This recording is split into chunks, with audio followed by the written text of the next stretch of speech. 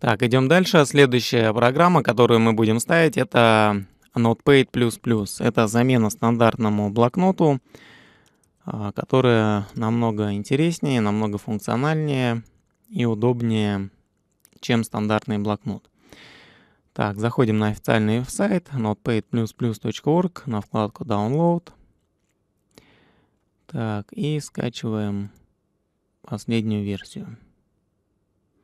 Так, все скачало, запускаю установщик и устанавливаю на компьютер.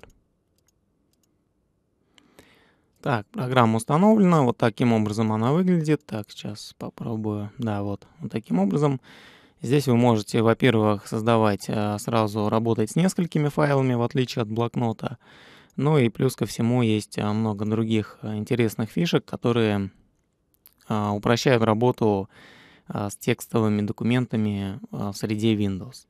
И более того, я вам советую сразу сделать вот что. Если вы пользуетесь программой Total Commander, а, зайти здесь в конфигурацию и в настройки. Найдите здесь пункт «Правка просмотр» и вот сюда правка по F4 пропишите Notepad++.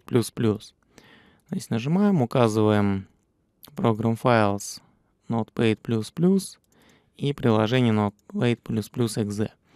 Вот, с этого момента у вас э, Total Commander по нажатию F4 будет открывать текстовые файлы уже не стандартным блокнотом, а через Notepad++. Видите, да?